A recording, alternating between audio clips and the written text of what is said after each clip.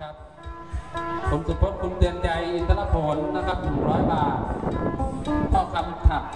แจ้งข้าวนะครับ 100 บาท นายยุทธศาสตร์นางพดิพรอ่อนข้าวครับ 100 บาท นายสุพิษศรีดาคำครับ 100 บาท นายบุญเลิศนางพัชรีจูว่านะครับ 100 บาทครับ